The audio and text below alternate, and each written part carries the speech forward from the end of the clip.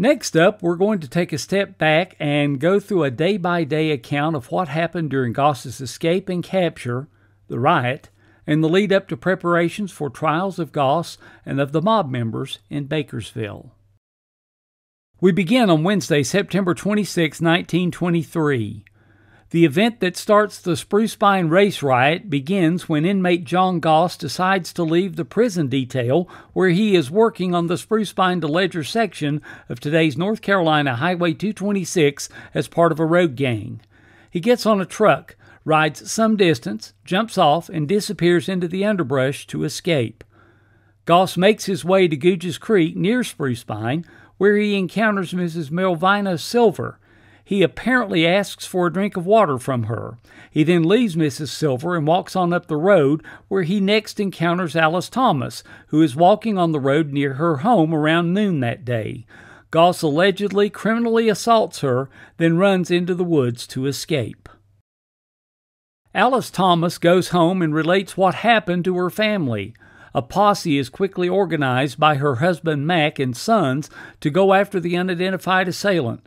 The number of members of the posse starts to grow as reports circulate about the event throughout Spruce Pine. Additional men join the hunt for Goss, but their initial search proves unsuccessful. While Mrs. Thomas's sons and some law enforcement officers forge ahead in the search for Goss, the other members of the posse return to Spruce Pine.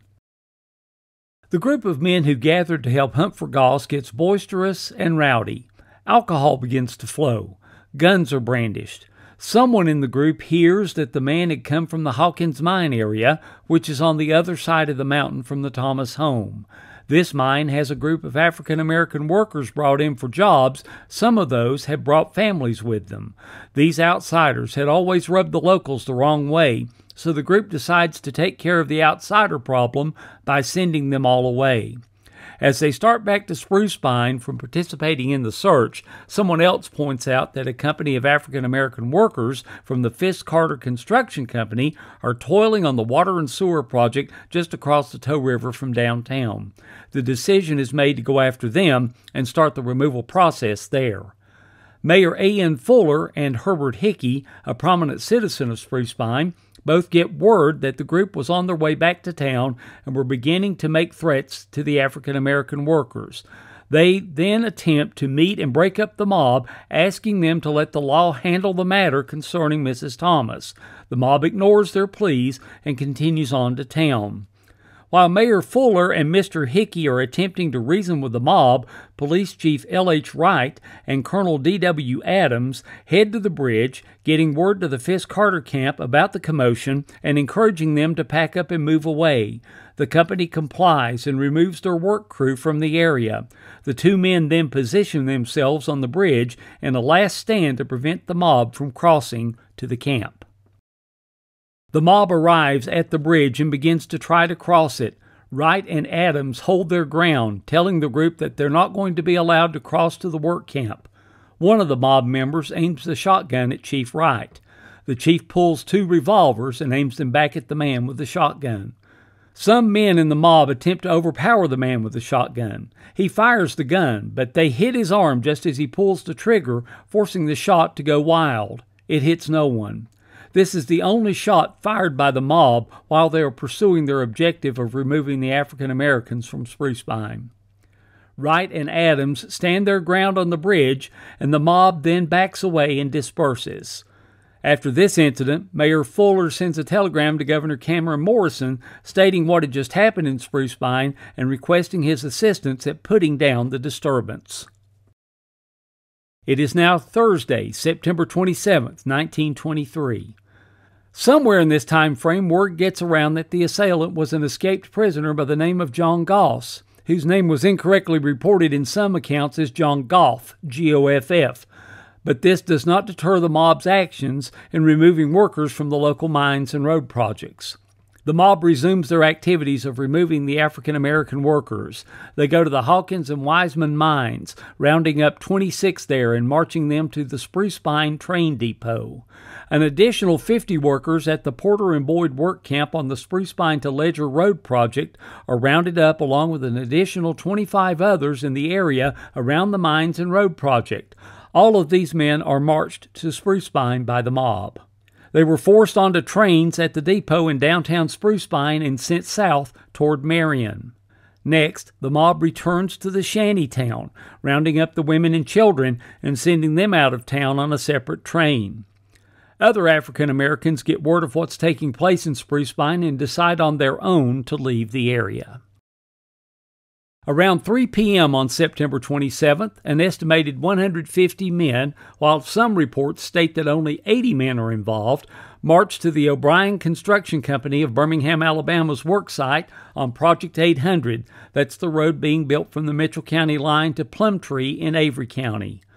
As the group approaches, some of the African Americans head into the woods. The mob demands that the workers be marched to Spruce Pine, where they'll be placed on a train to leave. P.H. O'Brien, owner of the company, pleads with the mob to leave his workers alone, stating that they are, quote, law abiding citizens, unquote, and had nothing to do with the assault on Mrs. Thomas. He gets a reprieve from the mob as long as he removes his workers by noon on September 28th. After the mob leaves, O'Brien asks both Mitchell County Sheriff R.C. Forbes and Avery County Sheriff Patrick A. Vance to provide protection for his workers or to call on the National Guard to provide the protection. Both sheriffs refuse the request, saying they can do nothing with the situation. Receiving no help, O'Brien next moves his workers to the Plumtree area of Avery County, where he then takes them on to Tennessee and they'll work on another project. There is one thing to note from all accounts found of these events. It is mentioned that the mob's behavior was unusually calm, even with the drinking and guns being shown. Mayor Fuller even notes that no violence occurs to the African Americans beyond their harassment and forced march to the train depot. And now to dispel a rumor that has circulated for decades. When Chris Hollifield and I were working on the Spruce Pine book for Arcadia Publishing, several individuals shared this photo you're seeing here with us, stating that it was one of the trains taking the African Americans out of town. But I can tell you today that it is not. If you look closely at the photo, the brick Spruce Pine store building is missing. The brick building housing the store was constructed and opened in the 1920 21 time frame, and it is not present here. This photo was made sometime before work began on that project in 1920. While the African Americans are being placed on the trains and shipped out, the wheels are in motion for a response from Governor Morrison. He answers Mayor Fuller's request with a telegraphed reply quote, Please call on local authorities to uphold the law and protect everybody in their rights, including the colored people. I'm directing Adjutant General Metts to leave for Spruce Pine tonight. I will afford all protection the local authorities may require. Morrison's office next issues a statement to the press about the situation in Spruce Pine. Here's the text of that release. Quote, a serious situation has arisen at Spruce Pine in Mitchell County, which caused the governor to dispatch Adjutant General Metts there by the first train. He is instructed to keep in touch with developments and advise the governor immediately if any assistance is needed in maintaining law and order. The governor late this afternoon received a telegram from local authorities indicating that there has been some movement started toward driving colored labor away from the place he immediately informed the authorities that he would afford the community ample protection in order to safeguard the rights of all its citizens, both white and colored, if necessary. Next, Morrison issues special orders numbers 317, 1 and 2 to Adjutant General Metts and the North Carolina National Guard. These orders state, quote, Brigadier General J. Van B. Metts, the Adjutant General, is directed to proceed to Spruce Pine, North Carolina, to investigate and report conditions to the governor in connection with the race disturbance in Mitchell County. Upon completion of the duties incidental to the conditions mentioned, the Adjutant General will return to his home station. The expense enjoined is necessary in the public service. Unquote. Metts immediately begins preparations for a train trip to Spruce Pine. We now move to Friday, September 28, 1923. The National Association of Colored People, better known as the NAACP, received information on the riot in Spruce Pine and they telegrammed Governor Morrison, quote, Press dispatches report that an armed mob of 200 citizens of Spruce Pine, North Carolina, are today rounding up all male Negroes in Spruce Pine and vicinity and deporting them on freight trains because of an alleged attack by a Negro on an aged white woman. National Association for the Advancement of Colored People is requesting of you information regarding correctness of this report and is also asking that you, as governor of the state, use all power at your command to protect the civil and constitutional rights of colored citizens who are being driven from their homes and jobs regardless of their innocence or guilt. Walter F. White, Assistant Secretary. Morrison replied to White's request with a curt response. Quote, my actions in matter referred to by you are being given to Associated Press as quickly as can be done as to prevent action of state being prematurely made known to the lawless from whom we seek to protect the state. Stop. You can get information through the news sources as the rest of the public acquire it. Unquote. Meanwhile, General Metts arrived in Spruce Pine on September 28th and met with officials to discuss the situation he decided to begin a mobilization of the National Guard to Spruce Pine.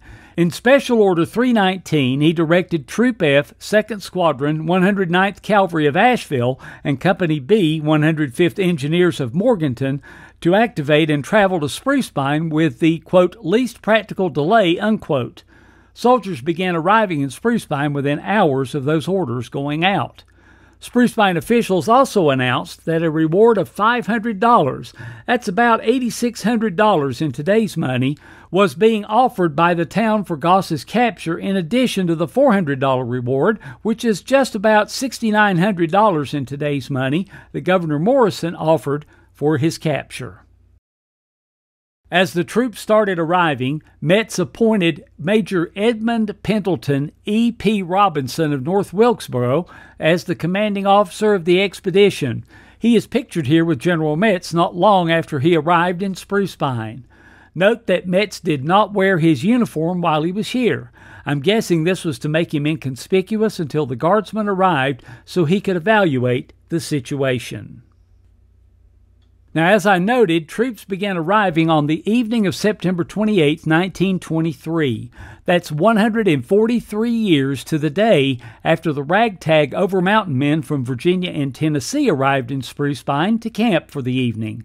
They were on their way to the Battle of Kings Mountain on October 7, 1780, and they camped in the area which today hosts the Grassy Creek Golf and Country Club, along with Spruce Pine's two shopping centers. Pictured here is a photo of Troop F, 2nd Squadron, the 109th Cavalry of Asheville, posing on their horses. This ran on the front page of the Asheville Times when they announced the troops' deployment.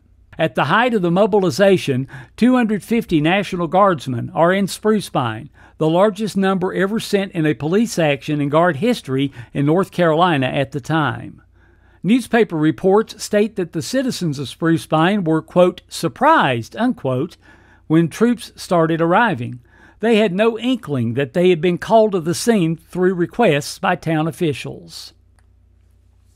Morrison also started to receive correspondence from the affected companies, like this letter from R. Fred Brewer, general manager of the Clinchfield Products Corporation of Erwin, Tennessee, and operator of the Hawkins mine. A couple of highlights from that letter are as follows Quote, it has been utterly impossible to secure sufficient labor in this section to operate our mines. Therefore, it has been necessary for us to bring this labor in. Some of the men we've had have been with us for a number of years, and the writer knows that they were reliable and law abiding citizens. Unquote. Brewer also called on Governor Morrison to put a stop to such behavior in Spruce Pine. Quote, I know that Your Excellency will not condone such unlawful procedure as mentioned above, and we hope that you will take such action as will certainly prevent a repetition of this kind of lawlessness. Unquote. North Carolina residents start to hear about the riot in the news stories reported in papers all over the region, and soon the nation. Some of these reports are very National Enquirer in nature, with sensational headlines and lurid details while others take a more calm and restrained approach. I'll be citing from reports of various papers as we move forward, and if I include something, we've corroborated that report cited by verifying it with multiple sources. Also, I'd like to point out that often these sources will use words that we find offensive and detrimental in today's vernacular. Now, I'm not trying to be insensitive or disrespectful here. I am sharing with you what it was like in 1923 Spruce Pine. This here is an example headline from the Asheville Times. The reports generally summarize the events and Governor Morrison's actions to order the National Guard to Spruce Pine to quell the disturbance. Mayor Fuller states in an interview with the Raleigh News and Observer that local people would not do the work going on around town, so it was necessary for the companies to get outside help to do their work, and that he, Fuller, wanted it to be safe for them to do their jobs here. Now, as I mentioned earlier, some accounts misidentify Goss as Goff, but we will be using his last name Goss going forward. As these reports start to circulate, Newspapers order their reporters to begin journeys to cover what happens, and they start arriving in Spruce Pine around September 28th and 29th. Here is an example headline from the Winston-Salem Journal from September 28, 1923. We move on to Saturday, September 29, 1923. The third day of the crisis in Spruce Pine opens with a telegram from Governor Morrison to General Metts stating that the prison camp at Spruce Pine should be, quote, protected at every cost, unquote, and orders him to inform Mitchell County Sheriff Forbes that the National Guard will, quote, uphold the law and sustain him and protect Negro laborers in their right to work in county, unquote. In particular, Morrison tells Metts that, quote, if Sheriff will not do his duty in your opinion, Notify me. Unquote. Metts replies that the prison camp is safe, but describes the atmosphere in Spruce Pine as being, quote, charged, unquote. Now, let me start by first apologizing in advance for the quality of some of the images we're going to be showing in the following slides. They are lifted from newspapers of the time, and their historical value is such that I feel it's worth showing them. Troops spent their first night in a local warehouse and ate at local restaurants. Then on September 29th, they began assembling a camp and establishing a defensive position at today's Riverside Park in downtown Spruce Pine. They named their position Camp Mitchell, the headquarters of which was in a house located where the current fellowship hall of First Baptist Church sits today. And in this photo, this is the Morganton troop posing at the headquarters. I'd like to note that the photo was taken by George Masa, who was a famous photographer from the era that recorded many beautiful views in western North Carolina. He was based in Asheville and took many famous photos, many of which can be seen at Pack Memorial Library, UNC Asheville, and Western Carolina University. You will see other photos he took for the Asheville Citizen and the Asheville Times as we continue, but the originals of these photos have been lost. Here, officers pose at Camp Mitchell for Masa. Of course, the Asheville Citizen didn't miss an opportunity for self promotion. Here they show soldiers from Asheville reading the Citizen while in camp so they could be, quote, caught up on the latest news, unquote. This photo is of a unit from Concord that was eventually sent to join the others in Spruce Pine. It's a terrible picture, but I include it because it was taken roughly where the playground and amphitheater in Riverside Park sit today. The house in the upper left of the image is the old Swan House, and it is still standing. National Guardsmen dug trenches all along the Toe River facing downtown.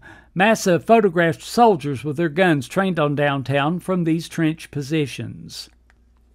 And yes, the National Guard actually did set up machine gun nests with their weapons trained on downtown Spruce Pine. This photo confirms that report. It is my understanding that there were at least three of them established. Now, we don't have a photo of one of the machine gun nests actually set up, but we can see the ammunition for the guns was on display at the headquarters. Meanwhile, the manhunt for Goss continued. On September 29th, the tip to Burke County authorities that he was spotted in the Morganton train station early that morning turned out to be correct. Burke and Catawba County law enforcement officials caught up with him near Hickory and arrested him, while the posse from Spruce Pine waited in Morganton. The officers found Goss eating crackers and cheese. He put up no fight, surrendering to them for arrest. To reduce the possibility of a lynching, Sheriff George Bost of Catawba County put Goss on a train bound for Raleigh and the state prison, escorted by his officers. When Goss arrived in Greensboro around midnight on the 29th, he gave an interview to the Greensboro News and Record. In the interview, he stated he didn't know a posse was out after him and that he, quote, jumped from a truck and ran into the underbrush, unquote. Later, he said he went to Johnson City on the train, then to Morganton, and boarded a train at Drexel, after which he was shortly caught. He also shared the story of his conviction in 1913, which he said was a, quote, conspiracy among his Negro enemies, unquote. This was the only report that mentioned him riding a train to Johnson City. We have no way of confirming that this happened, as there are no invests of the Clinchfield Railroad trains on file for the area in the railroad archives at East Tennessee State University. Goss arrived at state prison in Raleigh at 4:30 a.m. September 30th and was promptly placed in a holding cell. Now, in a wide-ranging article about the riot events in the Raleigh News and Observer, Governor Morrison made two statements of note on September 29th. First, he said, quote, I think prisoners should be treated humanely and their welfare should be promoted, but while they are prisoners, I maintain they should be treated as prisoners. I think they should be worked under guns. If they are qualified to enjoy freedom and unrestricted association outside the camp, then they ought to be pardoned. Unquote. Plus, the governor couldn't help but give a plug for his good roads efforts in the N&O story by noting that the rapid movement of troops like that being done at Spruce Pine was a justification for building the improved roads. Quote, Suppose with bad roads and in the dead of winter, lawlessness should break out in some of our mountain counties. Why, we would have to wait until spring opens to get troops there. With a good road from Marion to Spruce Pine, troops might have been thrown into the place in little more than an hour, unquote, according to Morrison. Adjutant General Metts departed Spruce Pine upon the arrival of troops on the evening of September 28th. He granted an interview with the Raleigh News and Observer as he was leaving, outlining the events that occurred in a timeline fashion and making three observations of note. On Mitchell County Sheriff R.C. Forbes, Metts stated that he learned that throughout the rioting, nothing was seen of Sheriff Forbes until the mid morning of Thursday. He was said to have watched the Negroes being loaded into the cars, but didn't protest. About Forbes, Metts said, quote, He's a Republican, as is the entire county, and he took office last December. Some weeks ago, Judge Ray, that is Judge Biss Ray from Burnsville, had warned Forbes from the bench that unless he was more vigorous in enforcing the law, he was going to find a new sheriff. Unquote. Secondly, Metts stated that, quote, most of the men in the mob are said not to be residents of the town, but came in from outlying sections of the county. Unquote. And finally, Metts is the only source that stated that Mrs. Thomas was harmed in the attack. In this article, he described her as being, quote, badly cut, unquote. He sent Governor Morrison a telegram while en route back to Raleigh, stating that the Guard was ready to protect the workers as they returned and that the situation was, quote, quiet today, but precaution was being observed, unquote. It is now Sunday, September 30th, 1923. This marks the arrival of more men and equipment from Troop F in Asheville and the 105th Engineers of Morganton to bolster their presence in Spruce Pine. It was also reported in the papers at this time that Major Robinson had arrived to assume command of the soldiers earlier in the week. September 30th is also the first day that reports of Goss's capture appear in the newspapers. A report in the Asheville Citizen identifies the five man posse that was chasing Goss off the mountain and into Burke County. They were Deputy Mac Buchanan, Dexter Buchanan, who was Alice Thomas's son in law, Wilburn and Nellis Thomas, her sons, and Clyde Ledford. A discussion of the trustee system for prisoners takes place in several articles. Governor Morrison stated that it was something that was going to be reviewed in light of Goss's escape, along with similar issues with the system. However, that trustee system continues for another decade in the state prison. And in an exclusive bombshell photo, the Raleigh News and Observer publishes this image of some of the members of the mob posing by the train depot. Authorities used this picture to identify those involved in the insurrection, and discussion by state authorities begins on arresting them for their actions. The Asheville Citizen also publishes a story on this date stating that workers in the road building, sewer, and water main constructions were being paid $2.75 a day. That's about $48 in today's money for their labors. F.A. Carr, editor of the Toe River Herald, which was Spruce Pine's first newspaper, is quoted as saying, Every white man in the county who wants to work and is willing to give an honest day's work for a day's pay is at work. It is now Monday, October 1st, 1923. The next phase of the crisis begins. With Goss incarcerated at Raleigh, Governor Morrison telegraphs Sheriff R.C. Forbes and asks him to begin the process of calling a special session of court to try Goss. Morrison also requests that Forbes look into getting Mrs. Thomas to travel to Raleigh to positively identify her attacker at the state's expense. Morrison also asked General Metts to begin the process of getting Alice Thomas to Raleigh to identify Goss. He also makes mention of a special term of court in this telegram that should be held quickly as possible, in his opinion, even though Metts cannot have any effect on the Superior Court term in Mitchell County. General Metts responds to Morrison with a status report that all is quiet, with troops on alert and patrolling the streets of Spruce Pine. Metts issues Special Order 320 on October 1st, sending Company E, 120th Infantry of Concord, North Carolina, with additional men to bolster the number of soldiers on duty. On this day, Governor Morrison received a letter from the Reverend W. H. Hunt of Birmingham, Alabama. Reverend Hunt asked the governor to see that the African Americans do not, quote, suffer and be driven away from their homes on account of what one bad member of his race does, unquote. He does thank Morrison for the effort that he displayed in the matter in trying to protect the lives of the humble and innocent people who dwell in the community.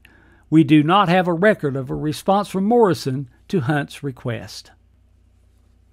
Media accounts of the impending return of African Americans to their jobs in the Spruce Pine area begin to build as they're expected to arrive back in town on October 1st.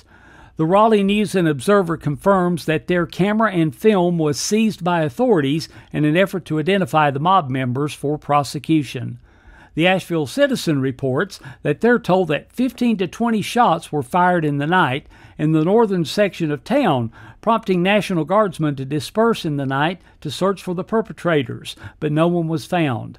This is not reported anywhere else, so it's unconfirmed. Several newspaper reports do note that Goss vehemently denied attacking Alice Thomas. He at first stated that he never saw her, but later the papers report he was trying to steal a pair of shoes from her and he ran off when he couldn't get them. African American workers began to dribble back into Spruce Pine on October 1st with eight men from the Fisk Carter Construction Company, the contractor for the water and sewer improvements, arriving back in town for work. They were immediately surrounded by 30 National Guardsmen as they got off the train and were escorted to their camp across the bridge. The men then began their work. The guards stayed at the work site to protect them from any problems with harassment. Twelve other men with Fisk Carter refused to return to work in Spruce Pine, saying they wanted to stay in a, quote, more peaceful region, unquote.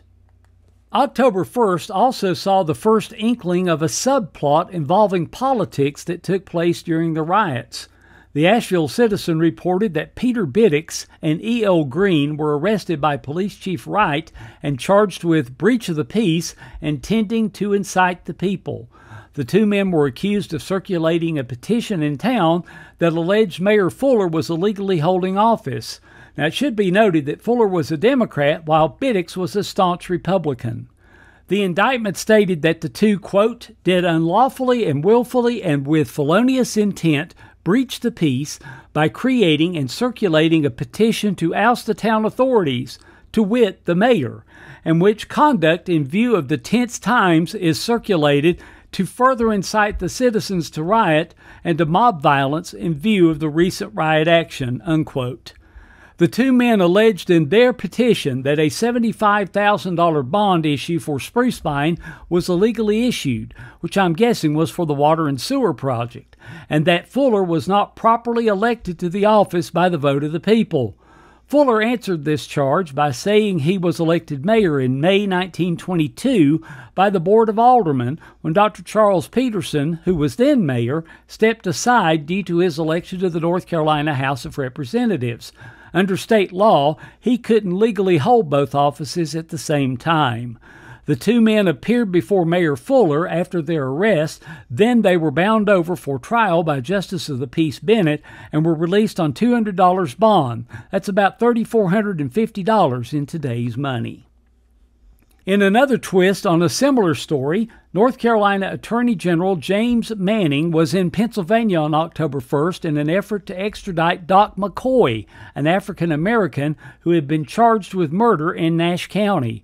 The NAACP filed a brief with Governor Gifford Pinchot opposing the extradition, stating that McCoy would not get a fair trial in North Carolina. Pinchot proceeded with the extradition, and McCoy was tried in Nash County, where he was later convicted and sentenced to 30 years for murder. Oddly enough, the NAACP did not file any sort of brief opposing Goss's being tried in Mitchell County due to it not being a fair trial location. Finally, in association with this story, Attorney General Manning's son, John Hall Manning, was a lieutenant in the North Carolina National Guard and was on duty in Spruce Pine at the time his father was in Pennsylvania for the extradition hearing. Attention of both local residents and National Guard commanders began to turn to the upcoming Toe River Fair. There was much concern over whether the event would be safe to take place, and there was worry that violence could break out if crowds gathered for the fair.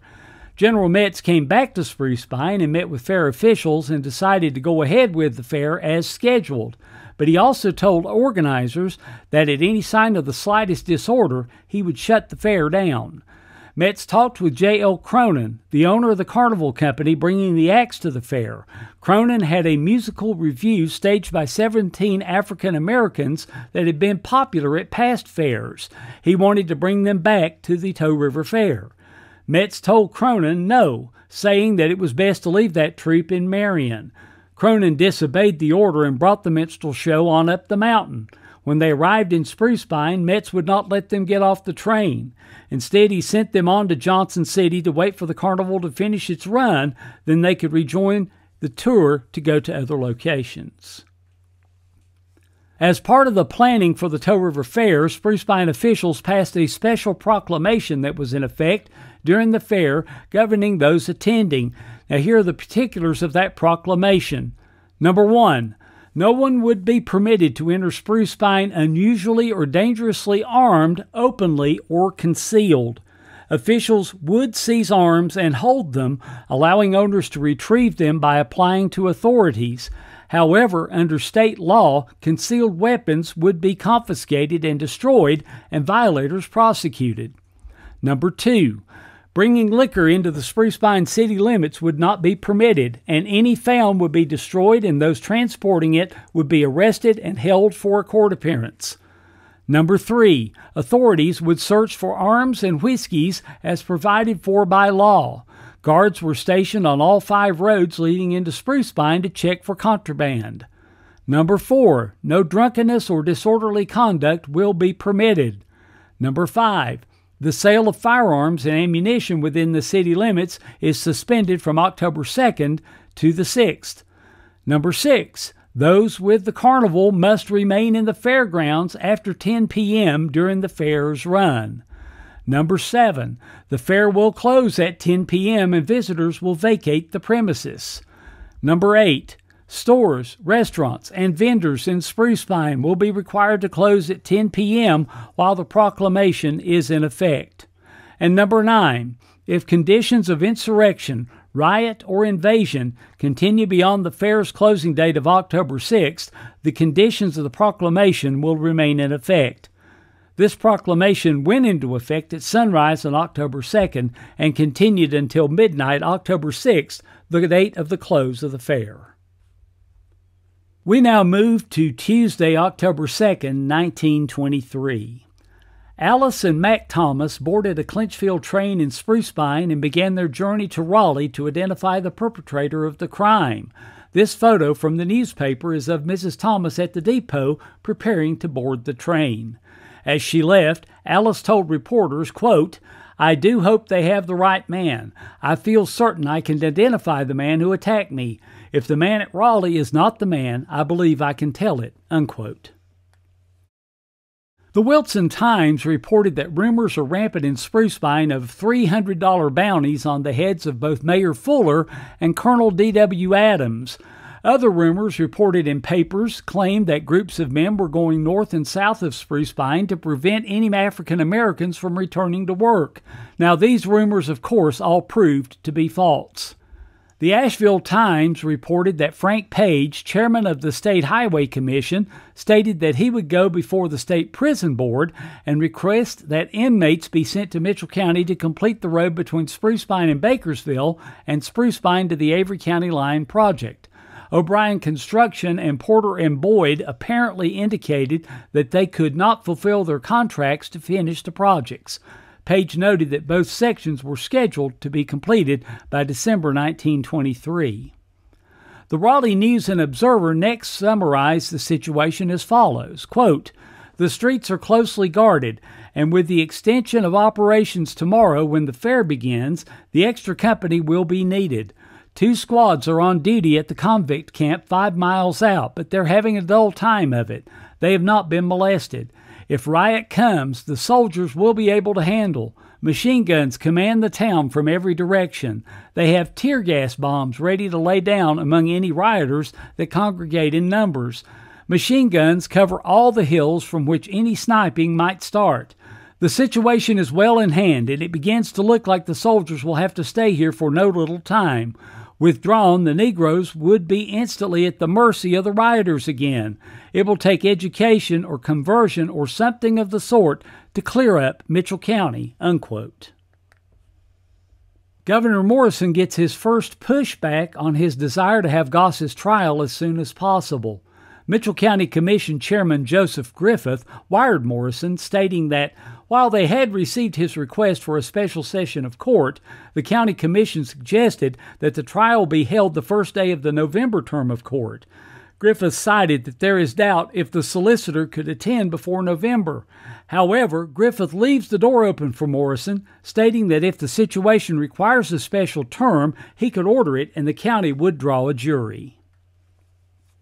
Mayor Fuller sent a letter to E.W. Lentz, the chief of police in Hickory, concerning the $500 in reward money that Spruce Pine had offered for Goss's capture. In the letter, Fuller stated the town's reward was to be divided between the parties who participated in the capture, and it was his opinion that the Mitchell County Deputy Sheriff and Mrs. Thomas's four sons and son-in-law, along with her nephew, should split the reward since they, quote, drove the prisoner into the arms of the men who captured him since they trailed him out of the mountain country on into the point of capture, unquote. Morrison also received requests from companies seeking to profit from Spruce Pine's misfortunes. O. Arthur Kirkman of the High Point, Thomasville, and Denton Railroad Company wrote the governor telling him that his company could use 50 of the African American men from Spruce Pine.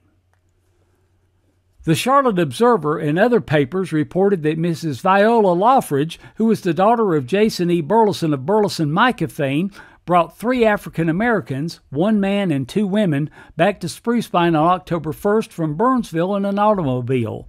One of the three worked as a cook for her, while the other two worked at the two hotels in Spruce Pine, the Topliff and the Umatilla hotels that are shown here. Mrs. Loffridge declined military protection for her and the three African Americans, telling the Charlotte paper that she, quote, was unafraid and could and would protect them herself, unquote. It was reported that Mrs. Loffridge was a crack shot and could take care of any situation that arose. Also on October 2nd, warrants began to be served to the identified leaders of the mob. Now let's note here that October 3rd, a Wednesday, seemed to be a fairly quiet day with little in the way of news. Now we move on to October 4th, 1923. It was reported that Alice Thomas positively identified John Goss at the state prison on October 3rd. She allegedly said, Sure, it's him, when seeing Goss at the prison. Upon hearing the news, one of her sons told a Johnson City newspaper, quote, We are glad they have got the right man. We trailed this man over 70 miles in the mountains and would have gone to Mexico if necessary to arrest him, unquote. Alice, Mack, and the Mitchell County deputy that accompanied them returned to Spruce Pine on the evening of October 4th. After Alice Thomas identified Goss in the state prison, Governor Morrison goes into action, establishing his agenda for what he wanted to happen. He informed the Mitchell County Commission that a special session of Superior Court would be held in Mitchell County on October 22nd, with Judge T.B. Finley presiding. He commands the County Commission to call a jury for the special session of court. Next, he sends a telegram to District Solicitor Johnson J. Hayes stating that he insists that the special term of Mitchell County Superior Court be held on October 22nd in Bakersville and that he has already called the session and ordered Judge Finley to preside. Judge Thomas Brown T.B. Finley is up next. Morrison's telegram insists that the second week of Avery County Superior Court in October be suspended and that a special term of Mitchell County Court be held beginning October 22nd. He gives Finley no choice, quote, have called it with you presiding, unquote. And last but not least, Sheriff R.C. Forbes is informed via telegram that the special session of court has been called and that he is instructed to call a jury for the session. It's now been five days since we've heard anything from General Metts, but he issues Special Orders number 327 on October 4th. In these orders, he instructs Captain B. M. Bradford with the Medical Detachment, 2nd Squadron, 109th Cavalry, North Carolina National Guard in Lincolnton to proceed to Spruce Pine with one sergeant and two enlisted men and to contact Metts when he arrives for orders. Metts also sends a telegram to Liaison Major Gordon Smith to inform Governor Morrison that troops had chased a gang into the mountains on October 3rd, but nothing had happened. They were worried about an attack brewing, but nothing could be proven that anything was planned. So now the waiting begins. In a Raleigh News and Observer article, Ben Dixon MacNeill, who made the photo you're looking at on the screen, talks about how attendance at the Toe River Fair was the lowest it had been since it had started, even with a special horse riding performance by Troop F of the National Guard being featured as an attraction. He also says that warrants for at least 75 members of the mob would go out and that troops would be stationed in Bakersville for all the trials. MacNeill said that Metts had advised against arresting mob members, but also noted that few of them could post bond and that there was nowhere large enough to hold even a tenth of them in jail in Mitchell County. MacNeill speculates that the proceedings against these men would be held on what are called bench warrants issued by Judge Finley, which give law enforcement the right to arrest on the spot and take the individual straight to court without being held in jail or posting bail. MacNeill says that few searches of town visitors took place during the fair and that no illegal weapons or liquor was found on the searches. He also stated that a single shot was fired on the night of October 2nd that had Major Robinson out in pursuit. He ordered a stranger he chased to halt, shooting four times in the direction in attempt to stop him, but the man fled. Troops combed Peterson Mountain, which is also known as Iowa Hill, above Spruce Pine until daybreak, but found nothing. MacNeill continues in his story, citing mining industry representatives who said that the question of outside labor must be settled once and for all for the region. At the time of the incident, Mitchell and Yancey counties were producing 65% of all the kaolin, feldspar, and mica used in the United States. The industry had developed many times faster than the population in the region. This had resulted in labor having to be brought in to meet the demand. Locals had continued to complain that the imported labor cut down on wages paid to workers. The mining companies denied these charges, pointing out that the wages paid these workers were higher than those paid in the past in the mountains. The companies also stated that the same pay scale was available to everybody who wanted a job. The operators flat out stated in his report that there were not enough laborers to go around and they had to seek outside help to meet their needs. There are no state economic statistics that can be checked to verify any of these statements, short of one citation that I mentioned earlier that the miners made $2.75 a day. That's about equal to $48 in today's money. That appeared to be pretty good wages for the area at the time. MacNeill concluded his article by saying, quote, Spruce Pine is further from Raleigh than is New York by rail, and as far removed as China as to other means of communications. There's a single telegraph line used by the railroad, and they've been helpful allowing it to be used by authorities and the press. Telephone operators have done, quote, prodigies of service, but MacNeill laments that it's a long way across the mountains. However, all of that is about to rapidly change in the coming years. We turn our attention now to the trials of John Goss and those involved in the mob that were held in Bakersville in our next section.